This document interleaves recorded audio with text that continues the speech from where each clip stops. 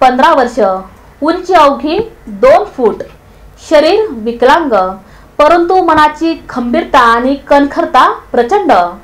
पाहुयात या जिद्दी विद्यार्थिनी संदर्भात बी आर न्यूज चॅनलचा एक विशेष वृत्तांत. दोनच काय एक पाय नसलेली व गमावलेली खचून गेलेली माणसं आपल्या जवळपास कायमच बघायला मिळतात. पण जे वाटायला आलंय त्यांचा स्वीकार करून सोबत जो आधार मिळतोय त्याला सोबती बनवून मोठ्या जिद्दीनं अपंगत्वावर मात करणारी माणसं ही समाजात आपल्याला पाहायला मिळतात.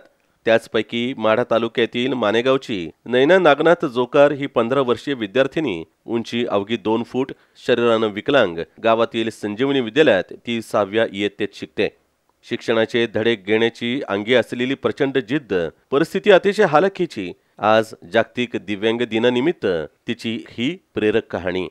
विकलांग असल्यामुळं तिच्या आईनं तिला खूप दिवस शाळेत देखील जाऊ दिलं नव्हतं. तिचा शाळेत जायचा हट्ट सुरू होता. मात्र अखेर तिच्यात शिक्षण घेण्याची जिद्द असल्यानं तिला उशिरा शाळेत घातलं गेलं. नैना उंचीनं जरी ठेंगणी असली तरी ती बुद्धीनं अतिशय चलाख तल्लख व गुणवत्तेत ग्रेट आहे. ती गावातील संजीवनी विद्यालयात इयत्ता सहावीमध्ये शिक्षण घेते. शरीरानं विकलांग जरी असले तरी तहसीलदार होऊन दिव्यांगाचे प्रश्न सोडवण्याची जिद्द नयनानं बाळगली आहे. यासाठी तिला गरज आहे ती आर्थिक मदत आणि तिच्या उपचारासाठी समाजातील दानशोरांनी पुढे सरसावण्याची. मानेगावातल्या नागनाथ व सुनीता यांच्या पोटी जन्मलेली ही नयना जन्मताच अपंग आहे. हात व पाय आहेत मात्र ते हालचाल करू शकत नाहीत. शरीरानं विकलांग असताना देखील नयनाला शिक्षणाची फार आवड आहे. विकलांग असल्यानं नैनाच्या आईवडिलांनी तिला शाळेपासून दूर ठेवलं होतं. अशा परिस्थितीत नैनानं हट्ट धरल्यानं आणि मुलीकडं शिक्षण घेण्याची आत्मीयता पाहून नैनाच्या आईनं दररोज संजीवनी विद्यालयात नैनाला काखेवर घेऊन तर पाठीवर दप्तर घेऊन शाळेत सोडलंय. दुपारी ती स्वतः जेवते. मधल्या व खेळाच्या सुट्टीत तिच्या मैत्रिणी तिच्यासोबत गप्पा गोष्टी करतात. तिला मदत करतात. लघुशंकेला देखील मैत्रिणी तिला काखेवर घेऊन जातात. तिच्याकडे बघितलं की खूप काही शिकायला मिळतं आणि प्रेरणा मिळते अशी प्रतिक्रिया तिची मैत्रीण अश्विनी घोरपडे हिनं दिली आहे. एवढी इच्छा आहे की तिनं खेळायला जाताना सुद्धा आम्हाला म्हणते मला नाही अगं मला पण बघायचं आहे. मग आम्ही नेतो आणि झाडाखाली बसवतो झाडाखाली बसलं की तिनं म्हणते तुम्ही खूप चांगलं खेळता मला पण बघायचं आहे.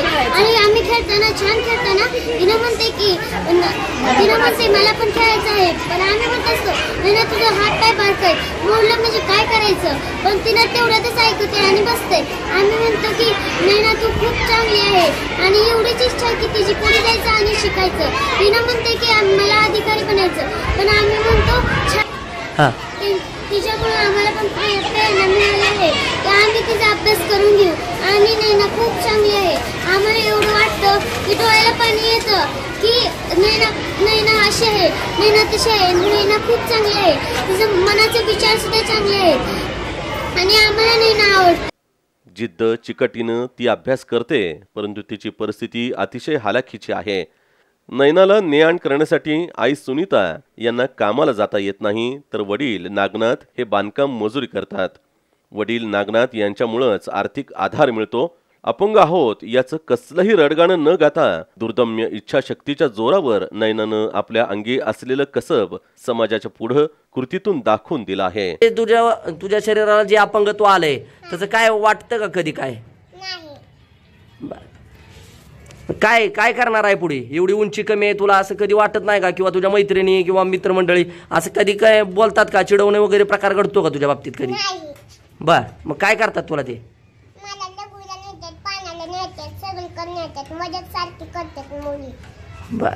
पुढे काय व्हायचं तुला आयुष्यात पुढे? अधिकारी. आज जागतिक दिव्यांग दिनाच्या निमित्तानं नैनाची ही यशोगाथा समाजातील इतर अपंगांसाठी नक्कीच दहा हत्तींचं बळ देणारी ठरेल यात तीळ मात्र शंका नाही.